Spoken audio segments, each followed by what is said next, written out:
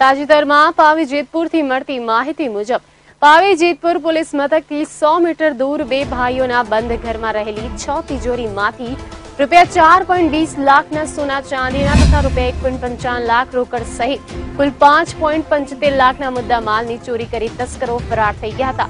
આ ઘટનાની જાણ મકાન માલિકના એક ભાઈ જ્યારે સાંજે પરત ઘર ઘર તરફ ફરતા, તાળા તૂટેલા અને તિજોરીનો સામાન વેરવિખેર જોઈને પોલીસને બોલાવ્યા હતા અને પોલીસે ઘટના સ્થળે પહોંચી કાર્યવાહી હાથ ધરી હતી. ત્યારે પોલીસ મથકથી સો મીટર દૂર આટલી મોટી ચોરીની ઘટના બનતા સુરક્ષા પર સવાલ થાય છે.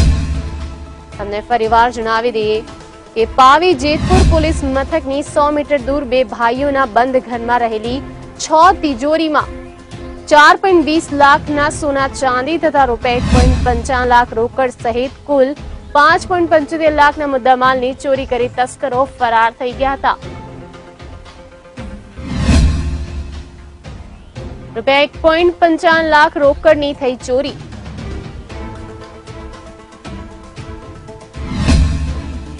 કુલ રૂપિયા પાંચ પોઈન્ટ પંચોતેર લાખના મુદ્દામાલની ચોરી.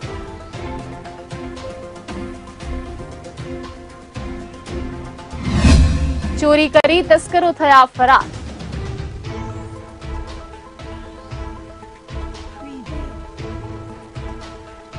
પોલીસે ઘટના સ્થળે પહોંચી કાર્યવાહી હાથ ધરી.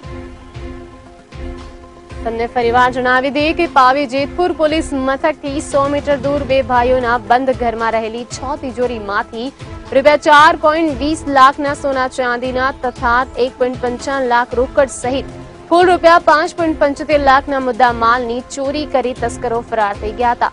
આ ઘટનાની જાણ મકાન માલિકને એક ભાઈએ સાંજે ઘરે પરત ફરતા ઘરના તાળા તૂટેલા અને તિજોરીનો સામાન વેરવિખેર જોઈને પોલીસને બોલાવ્યા હતા. અને પોલીસે ઘટના સ્થળે પહોંચી કાર્યવાહી હાથ ધરી હતી ત્યારે પોલીસ મથકથી સો મીટર દૂર આટલો મોટી ચોરીની ઘટના બનતા સુરક્ષા પર એક સવાલ થાય છે.